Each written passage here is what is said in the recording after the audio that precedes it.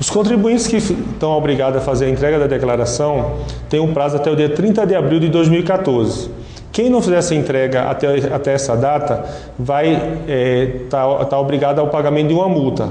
o valor mínimo dessa multa é de R$ 165,74, podendo ser um valor maior dependendo do imposto apurado na declaração.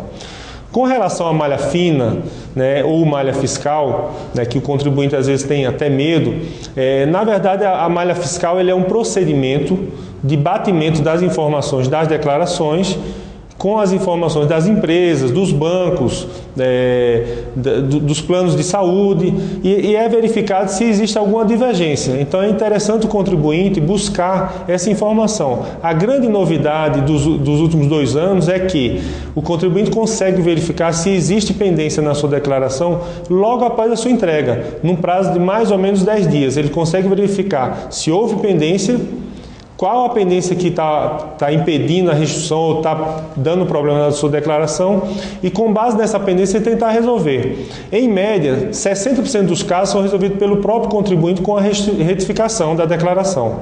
Em alguns casos, é necessário trazer a documentação à Receita Federal para que a gente faça a conferência e, se for o caso, libere a declaração.